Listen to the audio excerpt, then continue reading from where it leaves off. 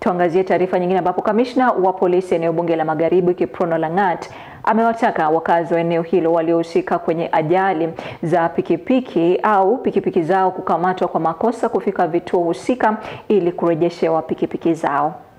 Ikiwa kuna pikipiki yako ambayo imehusika na ajali, utaratibu ni kwamba baada ya kufanyiwa inspection na NTSA unatakiwa kuchukua pikipiki yako.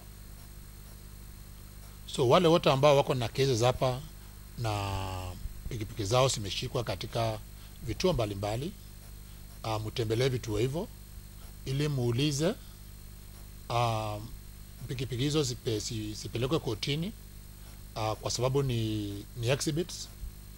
Baadaye uh, koti ita, itaruhusu uchukue pikipiki yako, lakini kesi tuendelea nayo. So kuna visa vingi ambavyo pikipiki zimekaa hapa muda wa mwaka moja, miaka miwili na zinaanza kuharibika.